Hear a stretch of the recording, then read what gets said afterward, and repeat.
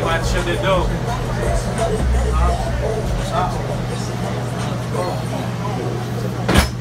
Mic Check went to No Doubt Smoke Mouth Project Here we are to open up this season. We got the one and only legend himself, Jay Watt. Jay how you feeling? I'm good, brother. I'm good. Uh, just got off the road. I'm a little, little, little tired, but I'm good. For sure, for sure. So, of course, being the legend, right, not just in any music history, but in rock music as well, how does it feel to still be able to go out each and every time and call your moments? Uh, it feels great, man. Like, like I said, for 25 years, uh, you learn, you learn it on the job. You learn how to make up time and just do all the things that you've been doing and have people enjoy it and love everything about you. Love doing. So for me, it comes like second nature. It's, just, it's definitely a lesson that I'm able to share.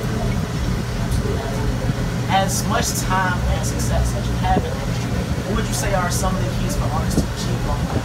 I don't really know, man, as far as longevity, because that's really on the people. You know, I mean, it's not really something that you can.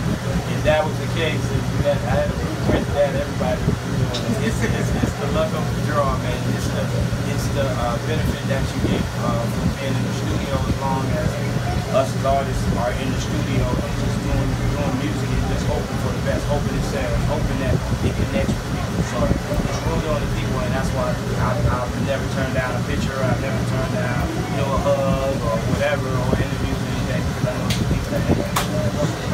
What would you say you feel about the state of rock music today, the trajectory, where it's at now, where it's going? How do you feel about it? I, I love where it is for this generation because that's their generation, which is that generation.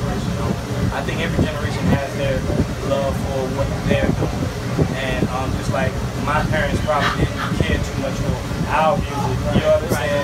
And so, yeah, I mean, I love a lot of the music that's out today though because um, a lot of them use a lot of my songs. And so that shows appreciation, respect, and love for the people that uh, paved the way for them to get to where they are too. So I love what they're doing. They're making a lot of money, and if they're making money and making a living uh, with it, that's all that matters. It don't even matter how other people feel about it. They doing their thing. Shouts out to all of the cats out there, the young cats out there. Um, and thank you for using my songs. too. Sure. Last question we get out here. So, Ginuwine today, do you see yourself as a competitor, still in the industry, a mentor, do you feel like you have another home? Well, I said I, I feel like I'm a mentor. Everybody, you know, now I got the uncle status. So you know what I mean. So now with me, you know, it's like I've, I've been on Instagram, and they were. Somebody said something. I forgot what it was, and they was like, at this point, it don't matter. He's uncle status. And we just gonna go support him, like Frankie Beverly and uh, Charlie Wilson and Keith Sweat and all that. So I really, I strive to uh, get to that point because at that point you're on cruise control, and people just love to come see you and hear the hits.